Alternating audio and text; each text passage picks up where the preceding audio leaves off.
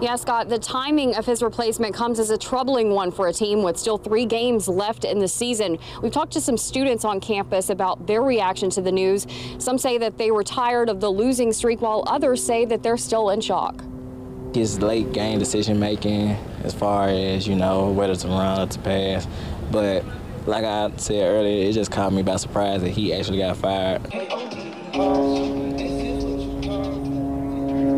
The university says their goal moving forward is to find a new coach with the same caliber and to move the team in an even more farther direction and grow it on what's been built here at Jackson State. In Jackson, Jennifer Lott, 16 WAPT News.